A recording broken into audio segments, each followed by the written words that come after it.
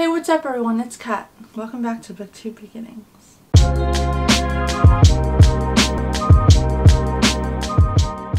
Hi! I think I am going to do my January wrap up and February TBR all in one video because I had a crazy couple of days that just passed and I want to get this up in a timely manner so I just thought it would be easier for you, for me, especially me, to just put it all in one video. First, I'm going to start off with my January wrap up. I read six books this month, which is so good compared to last month, which was zero. So, you know, progress. The first book that I read was You've Reached Sam by Dustin. We're following this main character. Her name is Julie. And Julie's like, she's a planner. She plans her whole life, like planning going to college and moving in with her boyfriend out of state. But what she didn't plan was her boyfriend dying suddenly. She's grieving and she decides, hey, I kind of want to hear his voice. So I'm going to give him a call just to hear his voice back, you know? She calls him and he answers. That's all I want to say about this book. It was so gut-wrenching and so heartbreaking. If you want to cry, this is the book to read. But if you don't want to cry, I'd stay clear of it. It was just so beautiful. I gave this a 5 out of 5 stars. The next book I read was The Girl Who Drank the Moon by Kelly Barnhill. if you watched my reading vlog, you would know that this was not my favorite. This is about these people who leave these babies out in the woods thinking that this witch is uh, takes them, like they leave them for sacrifice so that the witch can take him. And the witch is thinking, why are these people leaving these babies here? so she takes this one baby and she feeds them starlight to keep them you know, to, to keep them alive through the journey. But we follow the one child that she accidentally gives a moonlight, and moonlight gives them magical powers. That's where we go. This was an average read. I gave it two and a half stars. It was not my favorite. As you guys know, I'm trying to get into fantasy this year. And I thought this would be like interesting to start off with. And was really hopeful for this. But again, it was not my favorite. We talked a lot about this on Jan's channel on the live stream, so if you read this and you want to hear in-depth thoughts, definitely check out the live stream. But the book that I read after was my absolute favorite. Oona Out of Order by Margarita Mon Montimore? Montimore? Let me tell you. This book was an absolute 5 out of 5 stars. It was perfection in my eyes. This book is about a girl on her 18th birthday. Her birthday is like on New Year's. So on New Year's, on her birthday. She doesn't turn 19, she turns 51. We follow her, try to figure out what is going on. So each year, she's living her life out of order. I absolutely love this book so much. Oh, I had such a good time reading it. I loved all the characters. She leaves herself notes each year and so you don't know like exactly what's going on. She doesn't give everything away so that there's no spoilers in her life.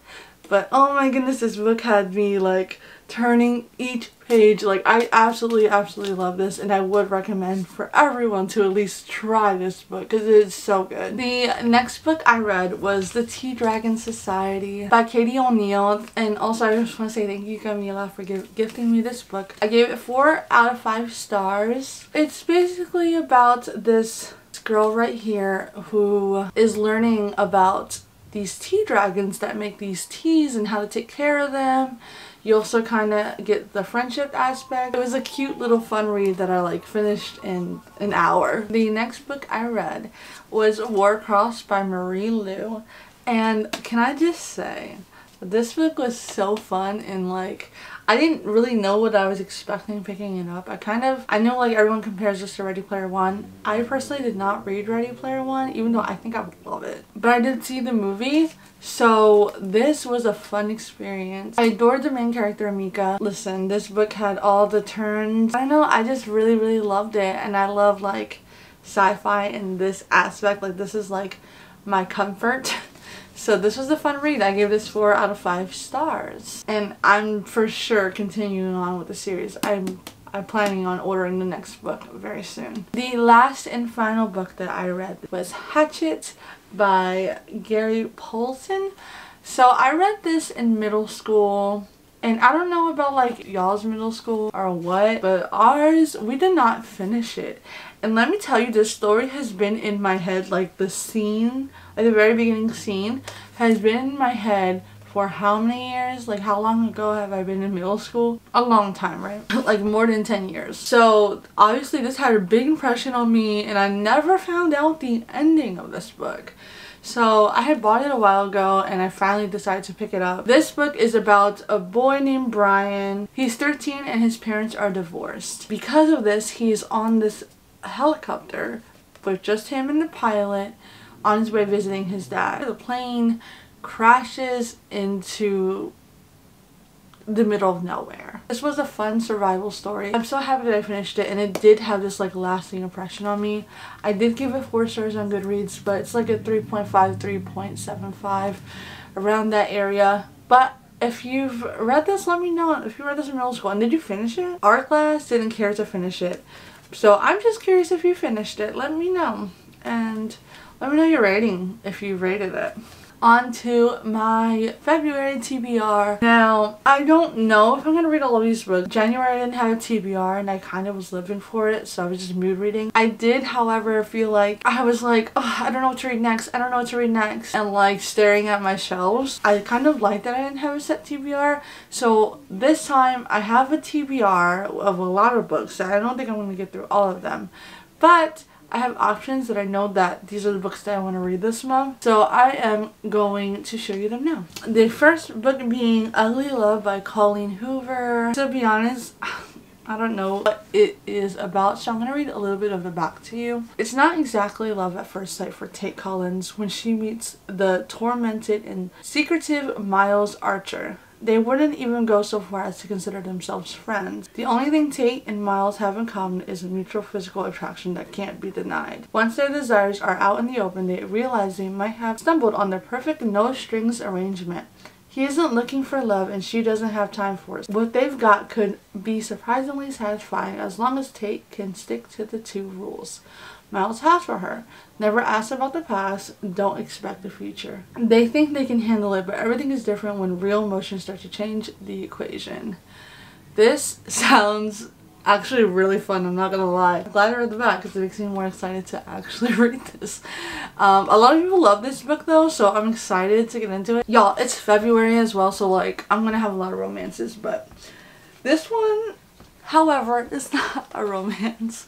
This is Elevation by Stephen King. If I do read this this month, this will be my first Stephen King novel. I feel like it's very not intimidating by the length of it. So I'm excited to get into it. I read the back of this and it's about a guy who like is losing weight without actually losing weight. Like his he keeps on stepping on this scale and he's losing weight but he his physical appearance is like the same. And I don't I don't know if this is a thriller I don't know if this is a horror. I have no idea what I'm getting myself into with this but I don't want to know more because of that because I feel like the back sometimes gives you like major spoilers. If y'all read this please let me know if it's good because I'm genuinely curious. So this is um random, but it's on the list. It's on the list. The next book I want to read is The Honey Don't List by Christina Lauren. This is probably the only Christina Lauren book that I own that I have not read yet, so I definitely want to get this read. So this one, I'm going to read a little bit of the back for you. Carey Duncan has worked for home remodeling and designing gurus Melissa and Rusty Tripp for a decade. A country girl at heart, Carey started in their first store at, at 16 and more than anyone would suspect has helped them build an empire. With a new show and a book about to launch, the Tripps are on the verge of superstardom. There's only one problem. America's favorite couple can't stand each other.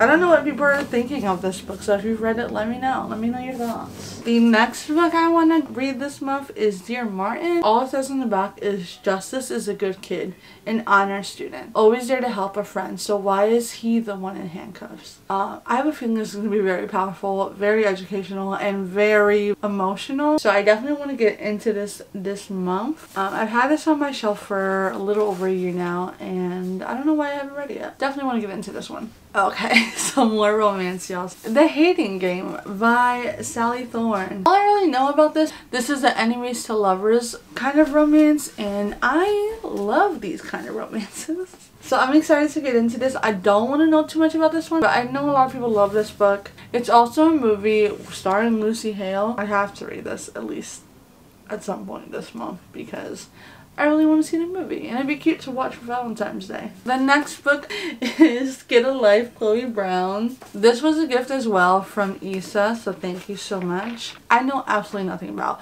but BookTube went crazy over this series when it came out and honestly that's all I need to know. All it says is love wasn't on her to-do list. So I'm assuming she's a planner. We love to see it. The next book I have here is The Love Hypothesis. Now this one I know zilch about. I don't want to know anything about it. Everyone again went crazy over this and I just want to go in blind to be honest. I just know I have a feeling that I'm really gonna love it. The next book I have here is Heard It in a Love Song by Tracey Garvis Graves. Now this one is about, okay I'm going to read the inside for you because I'm having a hard time trying to wear this out myself. Love doesn't always wait until you're ready. Layla, Layla is 35 and recently divorced, struggling to break free of the past, her glory days as a lead singer in a band, and a 10-year marriage to a man who never put her first. Layla's newfound independence feels a lot like loneliness. Then there's Josh, the single dad whose daughter attends the elementary school where Layla teaches music. Recently separated, he's still processing the end of the 20-year marriage to his high school sweetheart. He chats with Layla every morning at school and finds himself thinking about her more and more. Equally cautious and confused about dating in a world that favors apps over meeting organically, Layla and Josh decide to be friends with the potential for something more. Sounds sensible and way too simple, but when two people are on the rebound, is it heartbreak or happiness? That's a love song away. This sounds like so good. Y'all, ever since I made my 22 books that I want to read in 2022, this has been on my mind. Just this.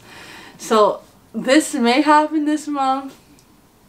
This may not happen this month. If not this month, sometime in the near future. But I really want to read Crush. I recently just read a recap of Crave. Yeah, Crave left off on a cliffhanger. Y'all didn't know. So, definitely want to read this this month.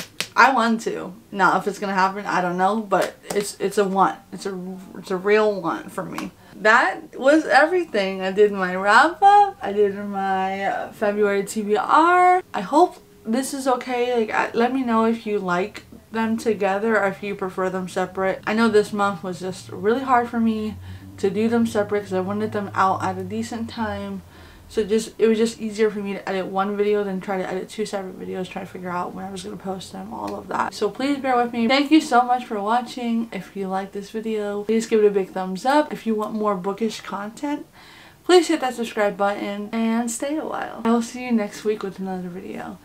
Bye everyone.